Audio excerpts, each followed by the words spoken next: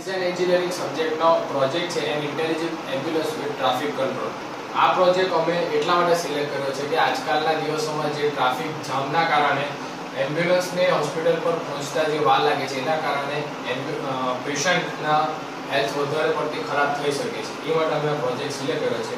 આ પ્રોજેક્ટમાં અમારા મેઇન ત્રણ યુનિટ છે.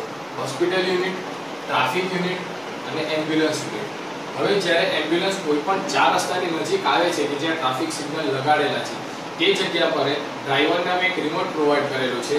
તો ડ્રાઈવર એ લેન સિલેક્ટ કરશે કે એને જે લેન પરથી હોસ્પિટલને રીચ કરવાનું હોય. લેન અગર એ લેન એ કરશે, તો લેન એ ની સિગ્નલ ગ્રીન થશે અને બાકીના બધા સિગ્નલ રેડ થશે.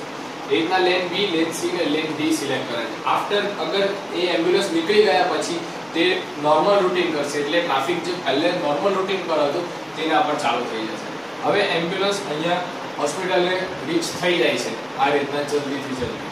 હવે ડ્રાઈવર ફર્સ્ટ બટન દબાવે એટલે નોર્મલ નોર્મલ રૂટીન અથવા તો રીસેટ રૂટીન છે. હવે ડ્રાઈવર ડ્રાઈવરે લેન વન સિલેક્ટ એ સિલેક્ટ કરવો હોય તો પહેલું બટન મળે એટલે આ ગ્રીન થશે. બાકીની બધી રેડ થઈ જશે. હવે ડ્રાઈવરે બી લેન સિલેક્ટ કરવો હોય તો થર્ડ નંબરનું બટન દબાવશે એટલે આ ગ્રીન થશે બાકીની રેડ થઈ જશે. એવી રીતે એવી રીતે થર્ડ આ થર્ડ લાઈન માટે અને એવા ફોર લાઈન માટે.